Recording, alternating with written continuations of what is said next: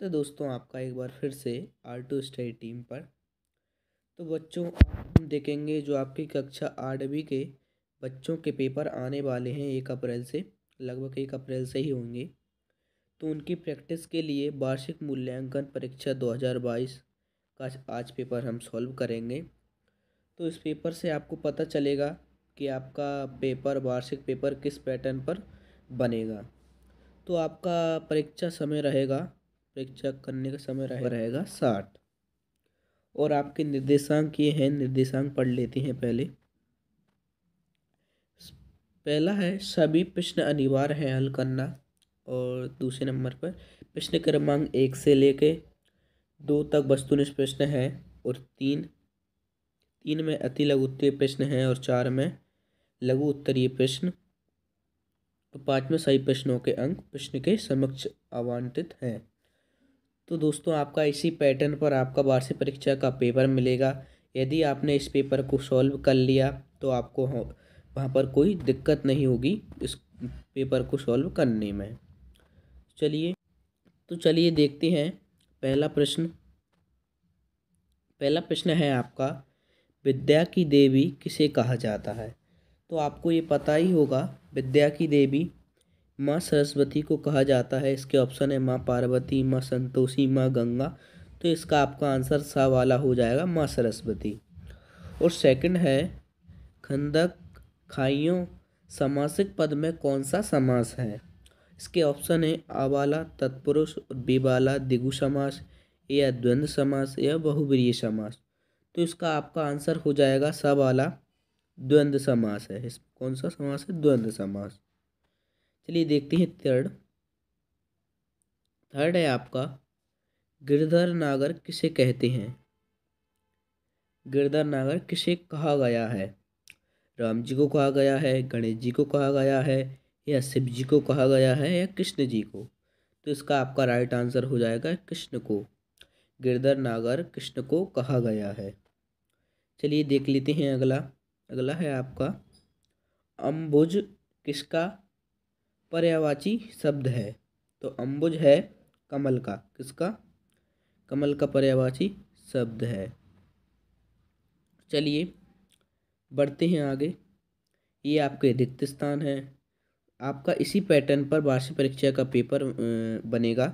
यदि आपने इसको अच्छे से करके देख लिया तो आपको परीक्षा देते समय कुछ दिक्कत नहीं आएगी। अब की बार पाँचवीं और आठवीं बोर्ड एग्ज़ाम होंगे। आठवीं के बोर्ड एग्ज़ाम सरकार ने घोषित कर दिया है। आपकी बोर्ड परीक्षाएँ होंगी। तो आपको अच्छे से कल लेना है। सिलेबस आपका कंप्लीट हो ही चुका होगा। तो चलिए देख लेते हैं। सेकंड नंबर पे है। रिक्त स्थानों की पूर्ति कीजिए। आपके ये पाँच नंबर के आएँगे। पहला है, प्राचीन काल में चंद्र ग्रहण सूर्य ग्रहण के लिए खालिस्तान उत्तर दाई माना जाता है। दूसरा है, भट्ट शब्द का पर्यावाची शब्द है। थर्ड है तन में शब्द का संधि विच्छेद क्या हुआ? और फोर्थ है आपका खालिस्तान की रक्षा करते हुए अनेक बिश्नोई शिकारियों के हाथों शहीद हुए। और पांचवा है कवि ने दौलत का स्वभाव तरह का बत, बताया है। मतलब कवि ने दौलत को स्वभाव तरह का बनाया जाता है। तो इनको आपको अच्छे से अपनी पुस्तक में देख लेना है इनके आंसर देख लेना है। और मैं जल्दी आपके लिए अगली वीडियो लाऊँगा, उसमें हल सहित, और और और भी आपके वार्षिक मूल्यांकन पेपर सॉल्व हम करेंगे। तो चलिए देख लेते हैं आपका अगला।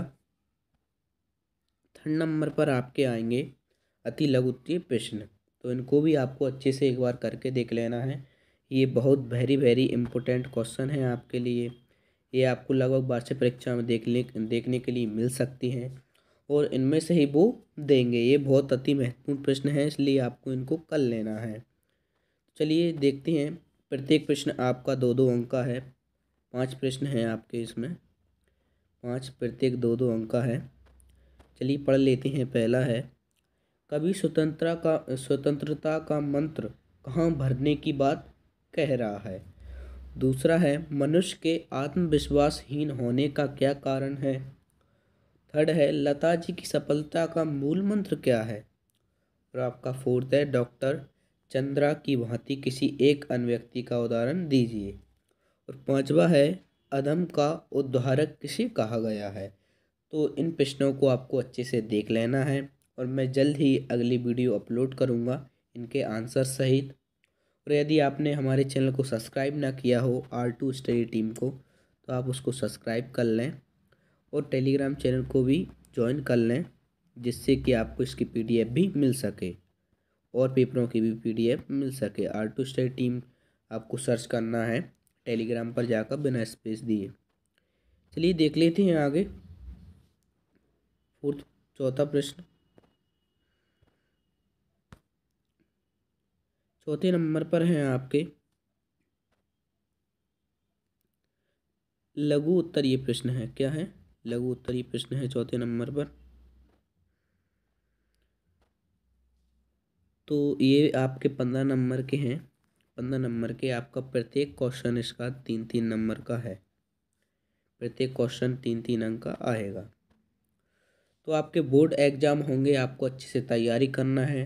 आपको रिवाइज करके देखना है जो आपने याद कर कर लिया है। पूरे सब्जेक्ट आपके कंप्लीट हो चुके हैं, आपको मैथ का भी रिवीजन करके देखना है। तो इन क्वेश्चन को भी आपको एक बार अच्छे से देख लेना है। चलिए पढ़ते हैं। उपचार के लिए बिरसा मुंडा जड़ी बूटियों के साथ क्या बताया करते थे? तो इसका आपको आंसर आपकी पाठ्य पुस्तिका में से देख लेना है। दूसरा है, प्रदूषण से बचाने के लिए हमें किसकी रक्षा करनी चाहिए? प्रदूषण से बचने के लिए हमें किसकी रक्षा करनी चाहिए? हमारे मन में पिल्ले की आग कब उठ सकती है और क्यों? हमें मीठे वचन क्यों बोलना चाहिए? हमने संसार को कौन सा संदेश दिया है? तो आपको बिल्कुल भी टेंशन नहीं लेना है, आपका पेपर बिल्कुल सरल आएगा। भले बोर्ड परीक्षा हो रही है आपकी इस बार 2022 में। आपकी एक अप्रैल से लगभग शुरू हो जाएँगी, होली के बाद। तो आपको इनको अच्छे से करके देख लेना है। हम जल्द अगली वीडियो अपलोड करेंगे। और आपके वार्षिक मूल्यांक के आधार पर आपको सॉल्व कराएँगे पेपर। तो यदि आपने हमारे चैनल को सब्सक्राइब नहीं किया हो तो सब्सक्राइब कर लीजिए, क्योंकि आपको आगे बहुत वीडियो मिलने वाली हैं अगली आपके वार्षिक मूल्यांकन के आधार पर। चलिए मिलते हैं अगली वीडियो में, तब तक के लिए धन्यवाद।